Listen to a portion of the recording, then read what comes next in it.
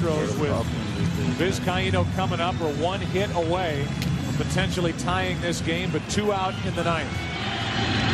Vizcaino, a base hit to left. One run scores. Here comes Burke. Throw home. Safe, and the game is tied. Vizcaino delivers. 6-6 in the ninth.